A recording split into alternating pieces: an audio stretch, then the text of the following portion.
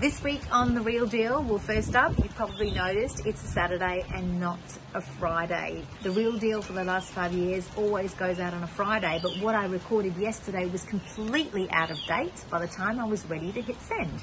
So I'm redoing it now after doing my inspections this morning and I'm sitting on my back deck enjoying the breezes and of course spending a lot of time at home like you should be doing as well unless you're wanting to buy one of my properties and you're wanting to see it.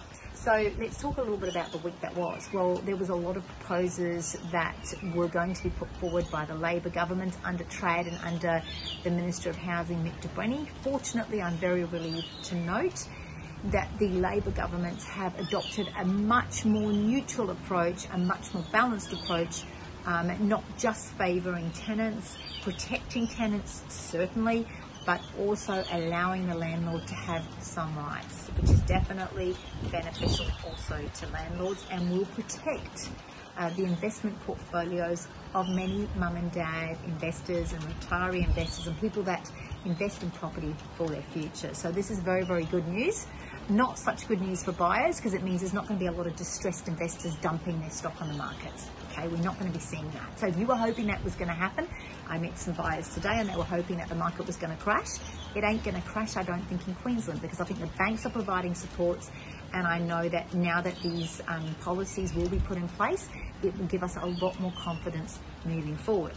It is a virus. It will pass. It will eventually go. Okay, yes, it's doing damage. Yes, it's causing frustration and confusion and we're having to do things differently. I tell you where it's really causing damage to the real estate industry. Its volumes are down. Okay, so it's particularly difficult if you're a real estate agent because we ain't got a lot of stock at the moment to sell. All right, we're not running with lots of listings. What we've got was probably pre-COVID. They wouldn't have put it on the market if they'd known that the shutdown was going to happen. Um, and we weren't allowed to do open homes. So this is all the people that decided to sell months and months ago that are on the market at the moment, that spent all that money getting their house ready. That's what's currently available. Is there any new stuff coming on? Not a lot, not a lot at all.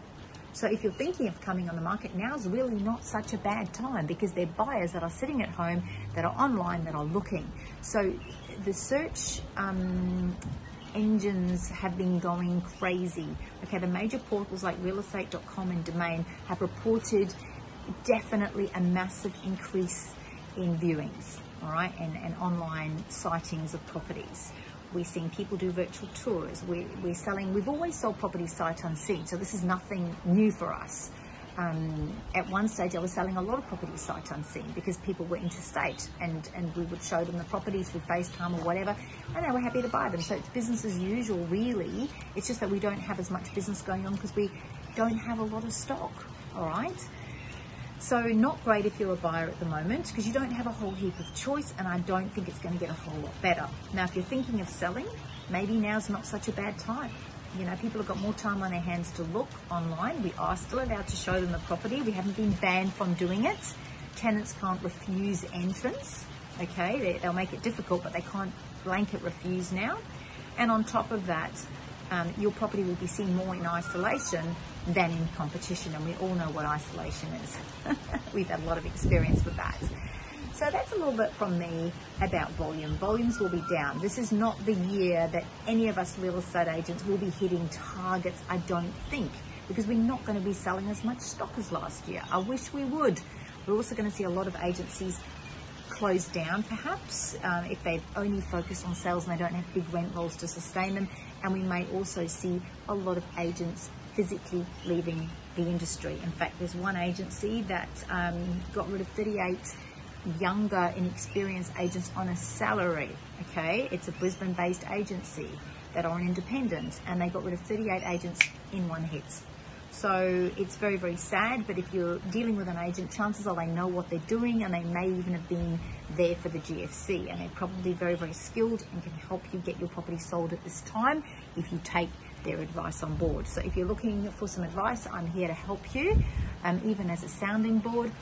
And the other thing is, if you're wanting us to look after your rental property, I can definitely do that too. So I'm here to help you. I'd love to help you, and let's talk soon.